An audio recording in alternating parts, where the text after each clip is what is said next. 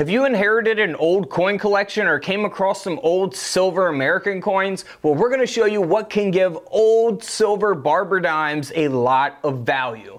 So let's just hop right into it and focus on the 1901 silver dime. This 10 cent coin here sold for over 11 $1,000 at auction. Now I think you can see why this error is super extreme. It kind of speaks for itself. The coin has been double struck and that design from the reverse is flipped over and you'll see the obverse design there on the reverse as well. So that's pretty extreme, graded by NGC over 11 grand. Now this next coin, sold for over $1,000, actually over $1,100 to be exact. So this coin is a 1901 silver barber dime that is in phenomenal condition for a coin like this. The coin is graded by PCGS at a mint state 66. So to have this coin at this grade is rare. So it really depends on each individual coin uh, when it comes to grading and prices and things like that. So over $1,100 for that coin.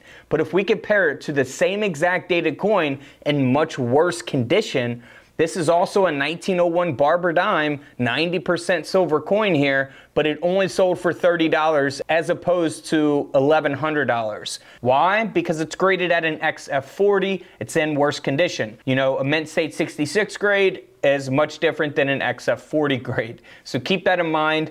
Grade is extremely important, which is the condition. Now in 1901, we also have the O mint mark. So this is a New Orleans minted Barber dime from 1901. You'll see that O mint mark there at the bottom of the coin on the reverse.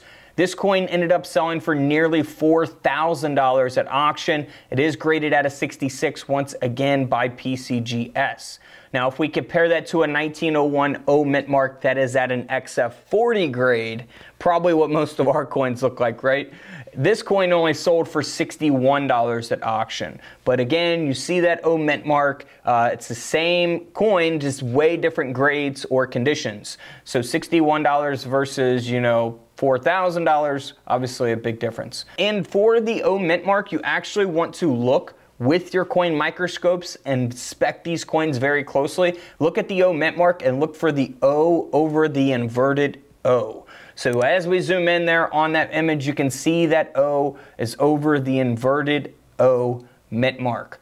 So that is something that can give your coin a lot of extra value as well. This coin graded by PCGS ended up selling for over $3,000. Moving right along to another mint error coin. So this 1901 silver dime was struck 10% off center graded by NGC. I think, you know, off-center errors kind of speak for themselves as well. Pretty uh, noticeable. You can look for this on all kinds of different coins. This dime ended up selling for nearly $1,000 at auction. Moving on to a coin that sold for over $8,000.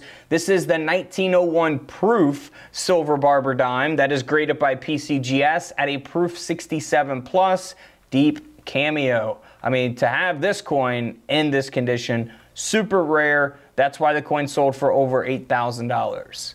Now, don't forget, in 1901, we also have the S Mint mark, San Francisco minted silver barber dime. And you'll see that S Mint mark right where we've seen the O Mint mark. So for this coin, uh, this is a very, very high grade as well, a Mint State 67 grade by PCGS, the coin grading company. Now, this coin ended up selling for over $13,000 at auction because of that high grade. Again, if you compare it to a very low graded example of the 1901 S Barber dime, this coin only sold for a little over 30 bucks. So graded by NGC there at a three. I mean, that's almost as low as you can get on the coin grading scale, right? A one is the lowest you can get. You go from one to 70 being the best. This is at a three. So probably what, again, most of our coins look like is uh, this coin here. So 30 bucks for that one. So always pay attention to your coins. If you guys inherit coin collections or maybe purchase coin collections and you're going through it and you find stuff, you always want to look for those errors, especially the close-up ones on the mint marks and the lettering and the date on modern coins as well. So if you want to learn more about modern coins, feel free to check out the rest of the coin videos here on the channel. Hey guys, everyone's asking how they can get my free coin book. Well, here's how you do it. You hit the link in the comments. It takes you over here to Whatnot. You'll see my my Whatnot page, got 5,000 followers over there. You click on shop right here on the left side and you scroll down and you can add the book.